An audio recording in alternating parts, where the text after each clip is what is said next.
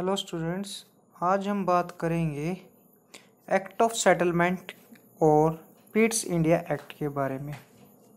जैसा आप सभी को पता है कि सत्रह सौ तिहत्तर में रेगुलेटिंग एक्ट लाया गया, जिसके कारण जो बंगाल के गवर्नर थे वॉरेन हेस्टिंग उनको बंगाल का गवर्नर जनरल बना दिया गया। उन्हीं के माध्यम से ही सत्रह सौ चौहत्तर में सुप्रीम कोर्ट ऑफ़ कोलकाता की स्थापना हुई और जिसके पहले जज इम्पे बने।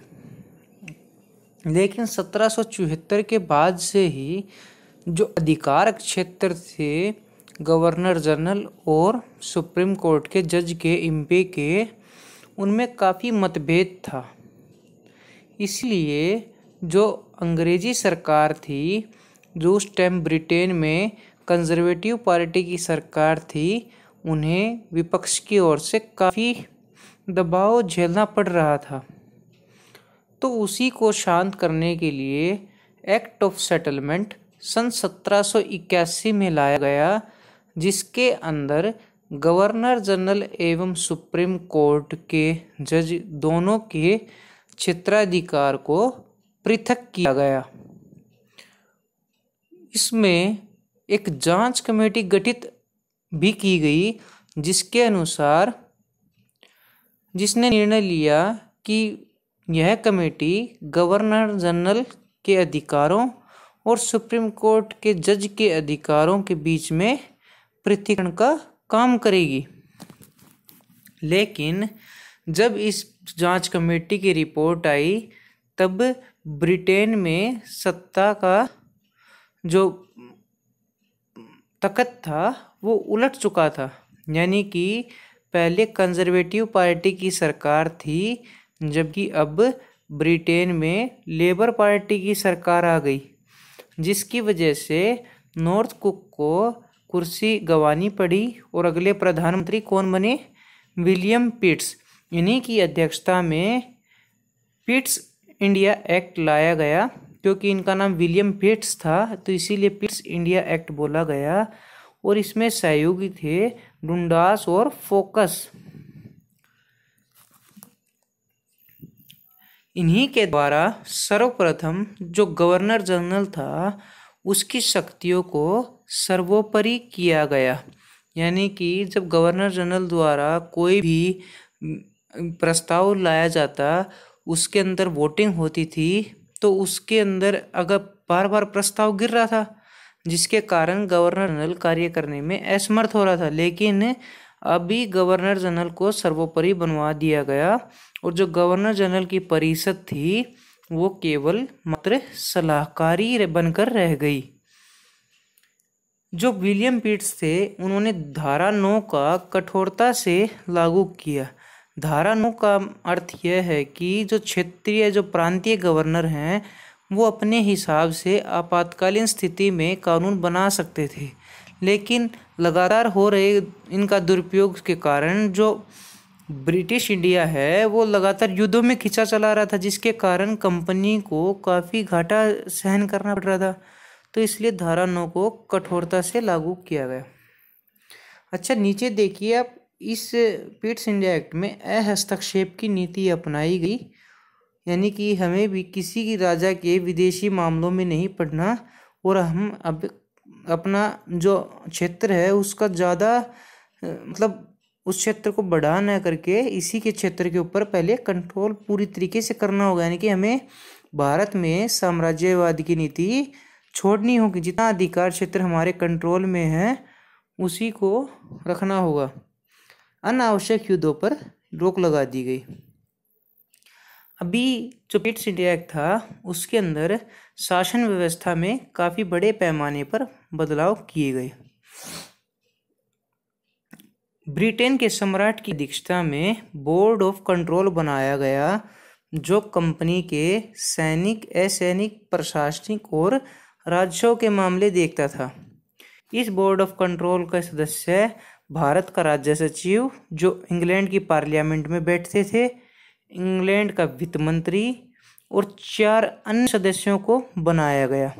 कुल मिलाकर इनकी संख्या छः हुई और चार अन्य सदस्यों में से तीन सदस्यों का जो मीटिंग होती थी, उसमें उपस्थित रहना आवश्यक था।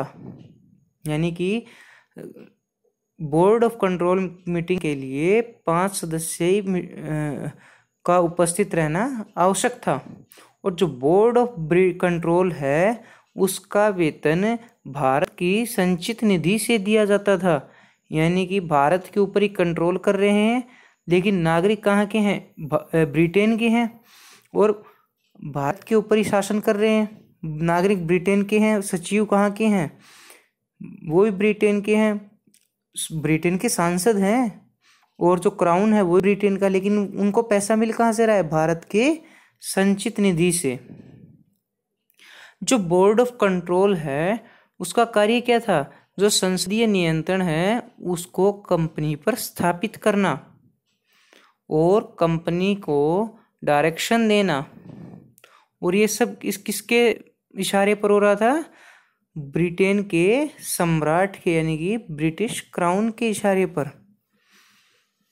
अच्छा जो बोर्ड ऑफ़ कंट्रोल है, उसका पूरा पूरा अधिकार किस पर था? गवर्नर जनरल पर और उसकी परिषद पर। पहले गवर्नर जनरल की परिषद में चार सदस्य एवं गवर्नर जनरल स्वयं हुआ करते थे। लेकिन अभी जो उनकी परिषद थी, उसमें एक सदस्य को अहम भूमिका दी गई, यानी कि एक गवर्नर जनरल, दूसरा कमांडर इन चीफ और तीन सदस्य अन्य रखे गए और गवर्नर जनरल को सर्वोपरि माना गया। युद्ध के समय, गवर्नर जनरल और कमांडर इन चीफ का संयुक्त फैसला ही अहम भूमिका निभाता। सुप्रीम कोर्ट को जो सभी दीवानी मामले थे, उनके ऊपर अधिकार दिया गया और गवर्नर जनरल पर, जो गवर्नर जनरल हैं, उन्हें सही, जो सुप्रीम कोर्ट थी, उसके अधिकार क्षेत्र से बाहर रखा गया। तो इस स्तर पर बड़े पैमाने पर बदलाव हुए। बोर्ड ऑफ़ डायरेक्टर्स थे, वो अब केवल व्यापारिक गतिविधियों पर ही कंट्रोल रख सकते थे। उनका राजनीतिक और आर्थिक दृष्टि से जो प्रभाव था, वो खत्म हो चुका था। वो प्रभाव किसके कंट्रोल में आ गया था? बोर्ड ऑफ़ कंट्रोल के हाथ में आ गया था। तो इससे ब्रिटेन का भारत में दोहरा शासन लागू हुआ। एक तो बोर्ड ऑफ़ डायरेक्टर की वजह से जिन्होंने व्यापार के ऊपर कंट्रोल किया और दूसरा बोर्ड ऑफ़ कंट्रोल की वजह से जिन्होंने राजनीतिक और आर्थिक और सैन्य रूप से भारत को कंट्रोल किया। तो आज के चैप्टर में इतना ही। और अभी ब्रिटेन में सरकार बदल चुकी है। पहले कंजर्वेटिव पार्टी की थी, अब किसकी आ गई है? लेबर पार्टी की। तो आप कमेंट सेक्शन करके बताएँ, आज 2021 में वहाँ पे किसकी सरकार है? कंजर्वेटिव की है, फिर लेबर पार्टी की है। और अगर आपको हमारे द्वारा बनाई गई वीडियो अच्छी लग रही है तो प्लीज़ लाइक करें शेयर करें एंड कमेंट करें। और आप अगर कोई नए टॉपिक पर वीडियो चाहते हैं तो भी कमेंट कर सकते हैं। बिल्कुल उस टॉपिक पर वीडियो बनाई जाएगी। और मैं आपको बार बार फ़ोटो इसीलिए दिखा रहा हूँ ताकि आप अच्छे से नोट कर सकें। धन्यवाद। Stay tuned with me for further classes